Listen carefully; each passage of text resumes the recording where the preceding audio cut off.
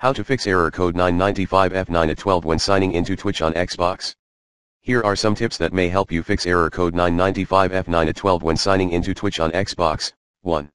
Disconnect current Xbox device from your Twitch profile. FYI, if you're trying to start a new account, you have to unlink your Xbox from your old account first.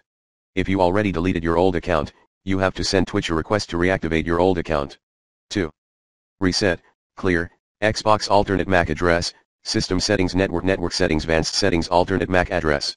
3. Leave a comment on live stream. 4. Reset stream key, pay a visit to the official Twitch website using laptop or computer log in your own Twitch account settings channel press the reset your stream key button. 5. Try performing a hard reset, hold the power button on the console for 8 seconds or until the power shuts down completely. Unplug the power cord from the back of the console for 5 minutes. Plug the power cord back in and restart the console. If that doesn't help try uninstalling then reinstalling the Twitch app on your Xbox. 6. Sign out from your old account prior to deactivating it in order to sign in with a new account. 7. Go over to the Twitch support page at https help.twitch.tv for more help. Plan B, contact Twitch by emailing them, https help.twitch.tv slash customer slash portal slash email slash new 8. Try the factory reset that keeps games and apps.